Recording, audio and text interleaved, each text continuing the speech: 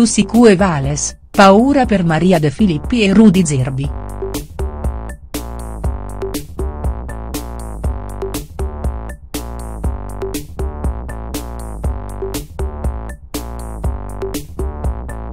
Rudy Zerbi e Maria De Filippi, lo scherzo shock a Tussicu e Vales. Questa sera va in onda su Canale 5 la seconda puntata di Tussicu e Vales con la conduzione di Belen Rodriguez, Martin Castro Giovanni e Alessio Sacara. La puntata inizia in maniera nuova e originale con i due uomini che, seguendo il consiglio della Queen Mary suggerito all'orecchio per non farsi sentire alla vittima designata, hanno preso in braccio Rudy Zerbi e l'hanno portato in cima alle scale dicendogli di rimanere lì per tutta la puntata. Insomma, il professore di Amici di Maria De Filippi è stato cacciato dalla giuria di Tussicu e Vales.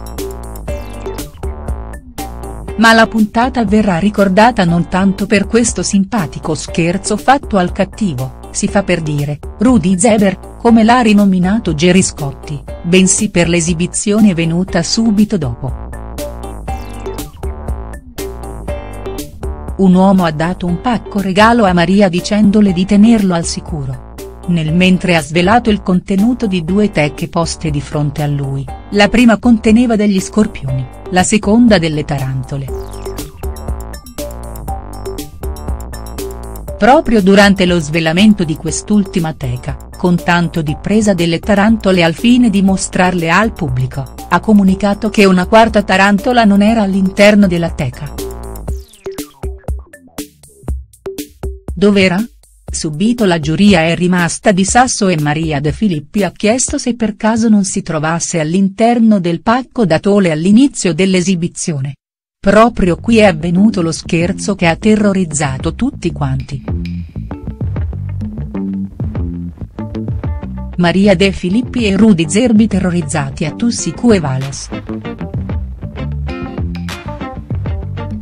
Un uomo ha portato a Tussicu e Vales scorpioni e tarantole tutto anormale se non fosse che la quarta tarantola non era nella teca dentro cui era stata messa dal padrone. I giudici di Tussicu e Vales si sono subito impauriti soprattutto Maria De Filippi, la quale ha avuto poggiato sulle gambe per tutta la durata dell'esibizione una scatola ben chiusa, e Rudy Zerbi che ha paura di ragni e simili.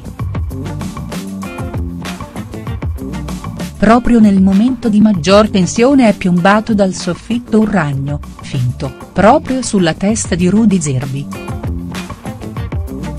Neanche a dirlo il suo spavento, nonché quello dei giudici in generale, si è fatto decisamente sentire con urla e grida di autentico terrore.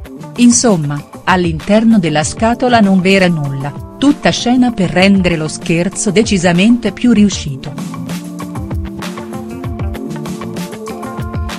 Ce la faranno, nel corso della puntata, a tranquillizzarsi come si deve dimenticando lo scherzo shock?.